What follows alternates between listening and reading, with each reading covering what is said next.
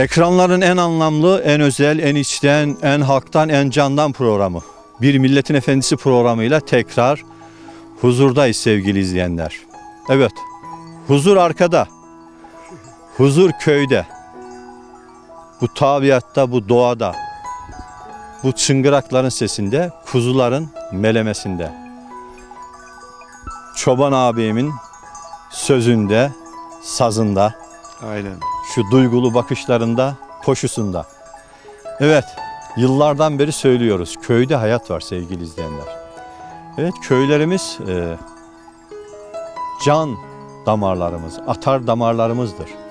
Evet, bu güzelim köyler sevgili izleyenler maalesef e, ülkedeki son politikalarla mahallelere çevrildi. Hayvancılık unutturuldu. Üretim unutturuldu. Evet, Menemen'in şu anda bir dağ köyü olan Manisa'ya yakın komşu Çaltı köyündeyiz. Bu güzelim Çaltı köyüne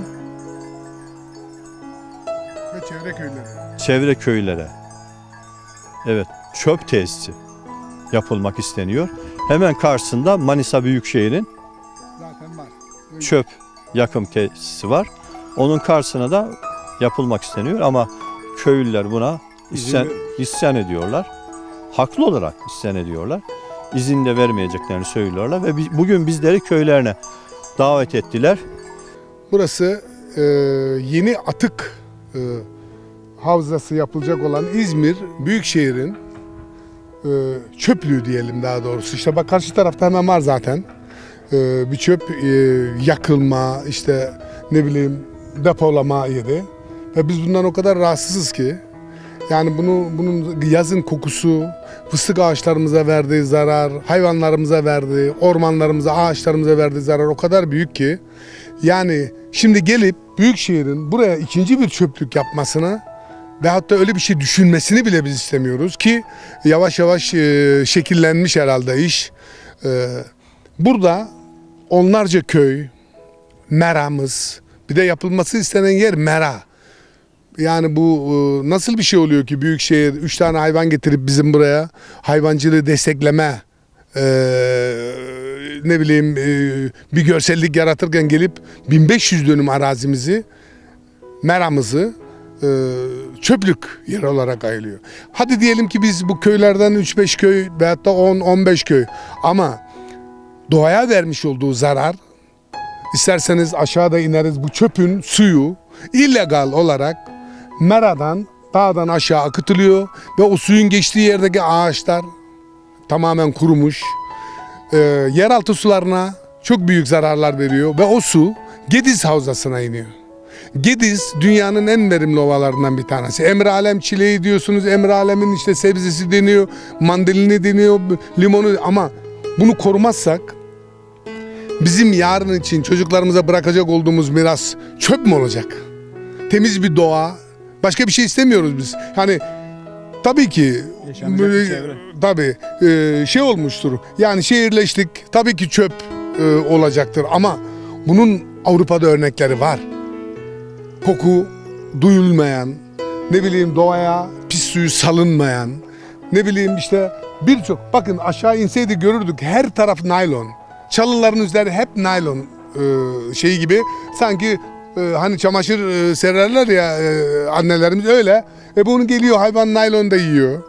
Ayrıca mesela buraya çok önemli bir e, internasyonel bir çiftlik kuruldu. Burada çok iyi şeyler yapılıyor. E sen gel çiftliğin dibine çöplük kur.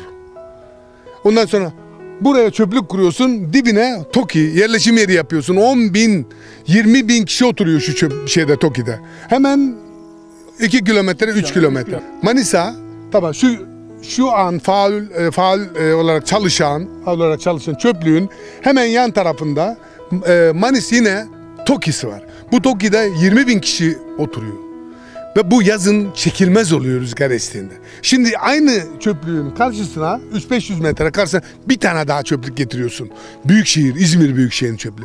E bu rüzgarlar onu kilometrelerce götürüyor. Bu yeni yapılacak çöplükten kaç tane köy etkilenecek burada? Benim saydığım yani çok yakın olan köy 10-15 tane ama İsimleri söyle istersen. İşte bak Göktepe, Süleymanlı, Görece, Çaltı, Karaorman, Uzunburun, Alaniçi, Beyköy, Göktepe, Emralem, Değirmendere, daha Yaşelli, daha neler neler. Tabii, Telekler, Şamar. Bakın karşı tarafta Dutlardan tut bu dağ köyleri hepsi etkileniyor. Yani rüzgarın bunu alıp götürmesi, bu dumanı, bu partikülü alıp götürmesi çok yani Tunus'ta Cezayir'den gelen kum fırtınası Akdeniz'de bizim e, Antalya'ya yağıyor yağmurlarla birlikte. Bu nedir ki yani bu kadarcık mesafede? Yani biz e, e, gündüzleri mesela bu çöplükten o, o rahatsızlığından e, dışarıda oturamıyoruz yazın. Şimdi bir de yeraltı suyumuz var bak burada derin kuyu pompamız var. Buraya yapılan derin kuyu yani 500 metre e, mesafede derin kuyu var. Burada da çöplük yapıyorsunuz. Yıllarca bu çöp sızıntıyla buraya gidecektir. Gitmez diye bir şey yok yani bunun e, ama yapılması Bu suları nereye akıyor? bu çöplüğün suları şu anda isterse gidip bakabiliriz. Başıboş böyle suyun dereden arazinin içinden Gediz Havzası Gediz akıyor. Ve aktığı yer bağlar var, meyve bahçeleri var, zeytinler var. Manisa'nın sanayisi oraya akıyor. Muradiye'nin lağımı da oraya akıyor. Foseptikleri de oraya akıyor. Her tabi tabi herkes her pisliğini Gediz'e akıtıyor. Yani bu bu, bu buna bir doğaya çöplük de tabi çöp Oraya oraya akıtıyor o da. Çöplük de oraya. Hani modern bir tesis yapmışlardı. Birkaç yıllık diyelim 3-4 yıllık bir tesis bu. Alın bakın bu İzmir Büyükşehir yani Harmandalı e, çöplüğünün buraya taşıyacak. Evet. Harmandalı bir komisyondan duyumlar aldım ben zaten. Komisyonda bulunan birisi buraya taşımak istiyor Harmandalı çöplüğünü. Harmandalı çöplüğünün buraya taşınması demek yani koskocaman İzmir'in 4-5 milyonluk bir İzmir'in çöpünün buraya taşınması demek bu doğanın tamamen ölmesi demektir. Bu köylerin bitmesi demektir. Burada yapılması gereken tek şey biz bize düşeni yapıyoruz. Biz doğamızı korumak istiyoruz. Biz bu ağaçlara karşı da sorumluyuz, bu dağlara karşı da sorumluyuz. Kendi diktiğimiz ağaca karşı da sorumluyuz, hayvanımıza karşı da sorumluyuz. Ama yukarılardan birilerinin böyle rant peşinde koşan, sonra bu çöplükler böyle e, şeyle çalışmıyor. Bunların hepsi özel. Çöp satın alıyor bunlar şeylerden. Geliyorlar burada yakıyorlar. Kandırıyorlar abi insanları. Tabii. Belediye işletecek diye Evet, kandırıyorlar. yani ondan sonra taş ocağı açıyor adam. Taş ocağında moloz gömüyor. İşte bilmem başka biri bir şey yapıyor. Geceleri pisliğini Gediz'e akıtıyor. Yani bunu kim denetleyecek? Liyakat sahibi denetçiler olmadığı için 50 bin insanımız öldü. Belki de 100 bin depremden. Neden? Yani önlenebilir bir şey de- değildi bu. Doğa tahribatı öyle çabuk önlenen bir şey değil. Hani unutursun. Ölen öldü kalan sağlar bizimdir hesabı. E, yeni binalar yapabilirsin. Ama eğer ki depreme dayanıklı yapmazsan, doğaya uyarlı yapmazsan, doğa senden onun intikamını binlerce yıl kademe kademe alıyor. E, Neden burası? Bence önce benim duyumlarıma göre Manisa buraya talip olmuş. Bazı illegal şeyler dönüyor. İzmir başlamış İzmir'de çöplük arıyor. İzmir bu sefer biz kendimiz yaparız demişler. İşin içine başka şeyler de giriyor falan. Şimdi iki tane çöplük burada ses çıkarmadılar diye herhalde bu uzun burun olduğu için. Bizim de ses çıkarmayacağımızı zannediyorlar. Ama biz burada bu işi sonuna kadar direneceğiz. Neden burası? Doğru. Yani sen Meraman'a gelip ben çöplük neden yapıyorsun? Bu ulaşım e, yakınlığından dolayı mı yapıyorsun? Yoksa ne bileyim atıl bir arazi olarak mı görüyorsun? Ya da bizim bir şey bilmediğimizi mi zannediyorsun? Karşı durmayacağımızı mı zannediyorsun? Neden burası? Yani bunu biz de e, anlamış değiliz ama e, anlayacağız. Yani bunun hukuku mücadelesini de vereceğiz. Dünya bu işi nasıl yapıyor? Nerelerine yapıyor? Dünya nasıl yapıyor? Ben ben 35 yıl Avrupa'da kaldım. 35 yıl ben çöp kokusu duymadım. Koskocaman şehirde ne foseptik kokusu duydum ne neden? Bir işi yapmanın maliyet hesabı da vardır. Yani bunun filtresi vardır. Bizde çabuk tarafından işte Akgedik'te e, foseptik çukurları yaptılar. Gidelim bakalım. Dereye akıtıyorlar şimdi koskocaman 10 bin 15 bin nüfuslu Toki'nin e, lağım suları Mersin şey deresinden e, bizim e, Mersin deresinden evet direkt şeye akıtılıyor e, Gediz'e. O zaman da çırpındık. Yapmayın. Bu şekilde yapmayın. Yapılacaksa bunun vardır bir e, var bir şeyi. Yani çok güzel e, ne bileyim arıtma tesisleri yapılabiliyor. Ama bizde maliyetten kaçalım işte şunu da şöyle yapalım, çabuk para kazanalım diye dağlarımızı, ovalarımızı üstüne bak taş ocağı yapıyor adam. Oradan ne yaptığı belirsiz. Nedir bu yani? Bu taşın değeri nedir? Şu görüyorsunuz değil mi? Bak oraya yara açmış bir tane. Tak tak tak orada böyle çalışıyor. Yani bu taş sen borunu işleyemiyorsun adam gibi. Geliyorsun burada dağları delik deşik ediyorsun. Bir şeyler yapıyorsun. Sen elindeki madenini işte. Sen elindeki yani gencecik nüfusunu işleyemiyorsun. Bilinçli bir toplum yetiştiremiyorsun. Bilime, sanata, edebiyata meyilli bir toplum yetiştiremiyorsun. Geliyorsun ne bileyim e, neydi belirsiz insanları liyakatsiz yerlere getirerek yani adamın hiçbir bilgisi yok. Oraya bir görev vermişsin. Bu şekilde bu ülkenin nerelere geldik bak nereden nereye geldik.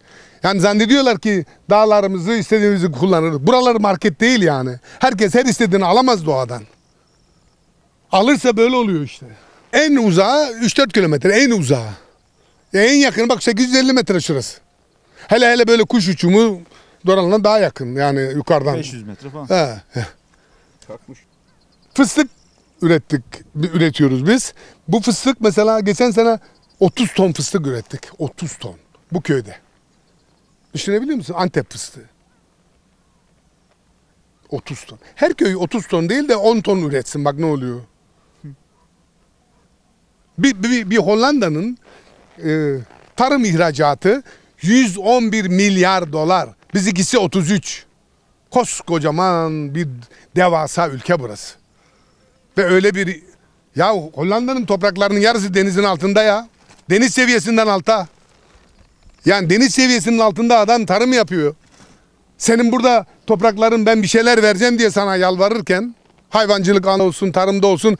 Sen 33 milyar dolarlık tarımla övünüyorsun. Utanmaz, utanmak lazım. Sanatta ne yapıyorsun? Ondan sonra. Bilimde ne yapıyorsun? Her gün birbirimizi pohpohlamak, her gün bir yalaka ordusu böyle gelmiş gidiyor işte. Ben bu köyde yaşayan 24 yaşında bir gencim. Yani güzel sanatlar öğrencisiyim. Yani bu çöp tam buraya 4-5 senedir çalışıyor. Ve 4-5 senedir biz burada bu çöpün zorluğunu çekiyoruz. Geçen yıl burada bir sinek oldu. Biz, kendimin, ailemin aynı zamanda hayvanları var. Yani bu sineklerden burada geçen yıl çektiğimiz kadar hiçbir yerde çekmedik.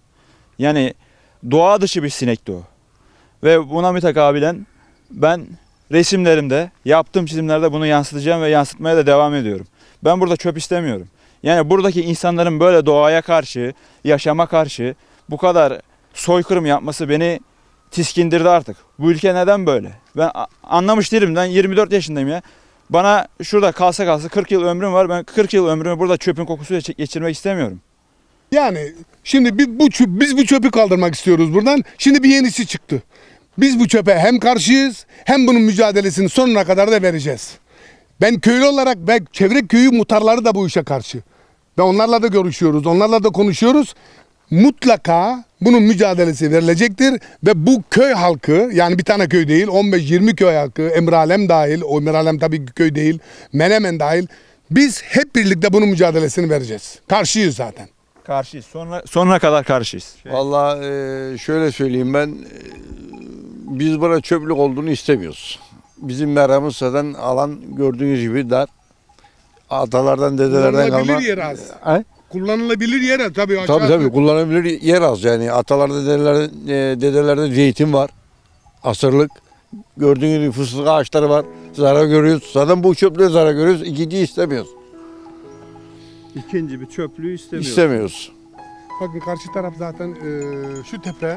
Şöyle. Bak şu karşı tepemiz bizim e, sit. Yani Roma'nın sonu. Kale. Oradaki bütün kayıtlar var. Yıkıkları var. Evet. Kale. Bak şu Evet. tepenin altında var bina yıkıkları. Yerleşim alanı bunlar. Şu karşısı var. Yeri çok büyük. Yani alacak olur 1500 dönüm falan bir yeri kapsıyor. Alacakları yer. Bu ta aşağı asfalta kadar iniyor. Hemen yanımızda Tepeden asfalta kadar. Buradan. 500 Buradan buradan. Buradan. Buradan geçiyor. Ha şuradan. Evet. tabii buradan buradan alıyor. Şu yolu Bak- takip et mesela. Yolu kesiyor. Buradan aşağı kadar oradan da bak su da burası bizim. Ee, derin kuyumuz. Görüyorsunuz elektrik direği var ya şurada hemen. O da bizim derin kuyu. İçme suyumuz. İçme suyu burada. Evet. Buradan Asfalta kadar 1500 dönüm. dönüm araziyi alıyor. Hemen zaten çiftlikte şu ağaç var ya bak büyük ağaç, tepe ağaç onun arkası. Burada yapılması gereken bu çöplük bu kadar çok köyü etkileyecek. Bu kadar çok köyü etkiliyor ki. Yani bir de bizim biz alışkın değiliz böyle bir yerde yaşamaya. Yani biz şehir kült şeyinden kalabalığından kaçtığımız için dağlara sığınmışız. Yani bizim DNA'mız bunu kabul etmiyor. Yani sen nasıl buraya gelip de çöplük yaparsın? Yap kendi kapının dibine de görelim bakalım sen yaşayabiliyor musun? Bizim olan atalarımızın, dedelerimizin emaneti olan yerlerimizin yok olmasını istemiyoruz.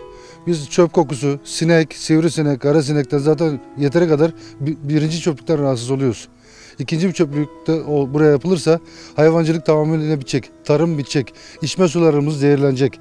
Biz bunların korunmasını, bize olan ema- emaneti ayakta tutmaya çalışıyoruz. Her yerde anılarımız var. Çocukluğumuz, her köy, köy bütün köylülerin her tarafta anısı var. Bunların yok olmasını bir şekilde istemiyoruz biz. Yani buna engel olmak lazım. Buna dur demek lazım. Yetkililere sesleniyoruz. Elinden geleni herkes yapmasını is- istiyoruz. Yani e, herkes görevini yapmasını istiyoruz.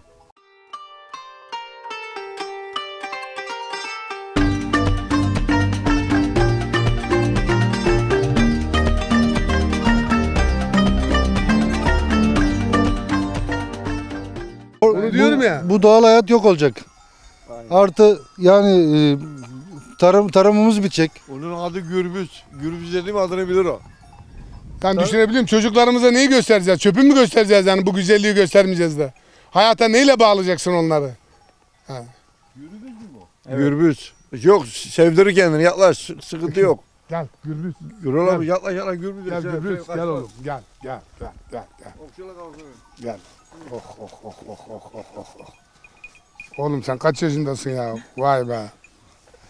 Gürbüz ha. Kulaklara bak. Kulak. Halep, Halep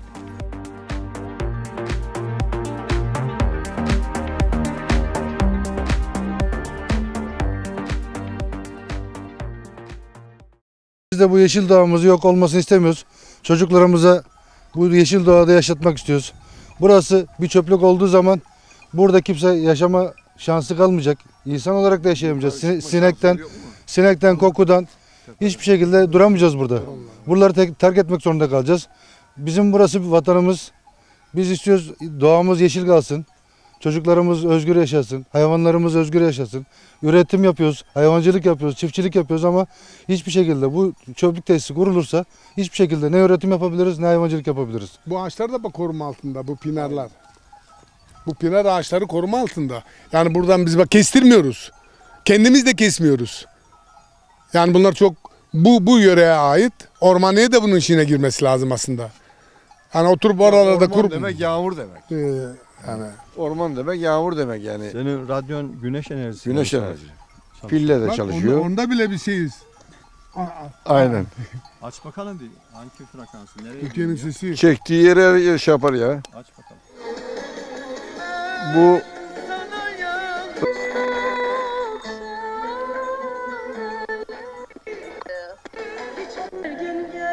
terase. Ha.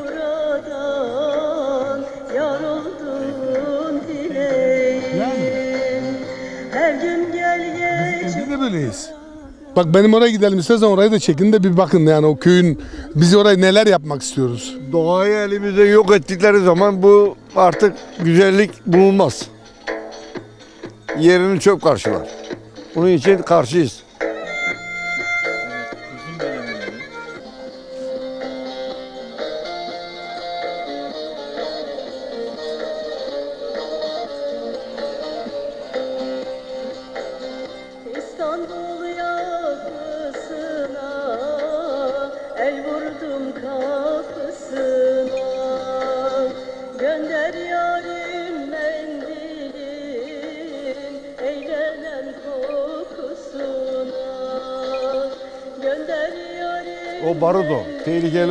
Hüseyin'in torunu Gel. Hayvanlar gel kızım. çe- çeşmenin yanına doğru gidiyor. İşte bir Çeşmenin şey olduğu yere de gidelim. O su, o su bak bizim kaynak suyumuz. Evet. Aynen. Çeşmenin olduğu yere çekeriz yani. Oyuna çeşmeye doğru geliyor ya. Arabaların olduğu yere doğru gittik oyuna.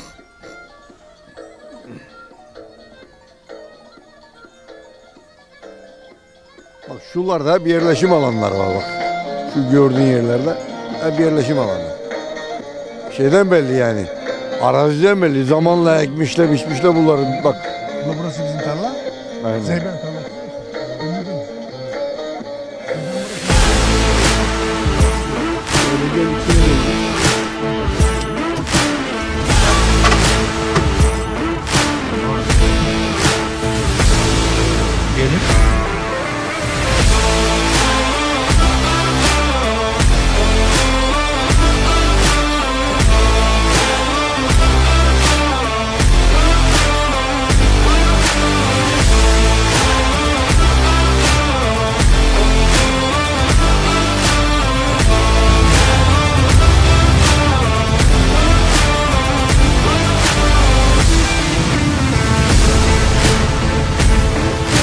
Belki de köyü taşıyacağız artık.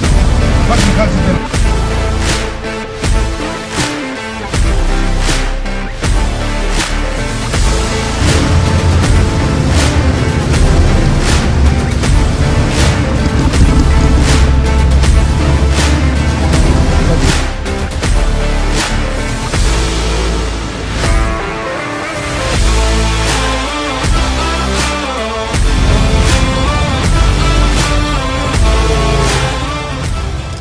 Yanımızdaki zaten Manisa çöplüğünden çok yakın olduğu için zaten rahatsız. Kokusundan, sineğinden, şeyinden bütün zeytinlerimize, ağaçlarımıza zarar veriyor zaten. Böyle bir çöplüğünde bir de bir tane daha kaldıramayız yani.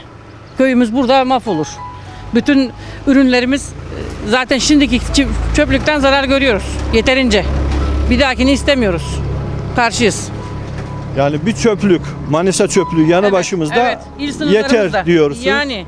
İkinci bir çöplük Hayır burası kesinlikle. Kaldıramayız. kaldıramayız. Aynen orada zeytin ağaçlarımız var. Biz yani bir daha bir çöplük kaldıramayız. Oranın kokusu yetiyor zaten sineği. Yani öyle.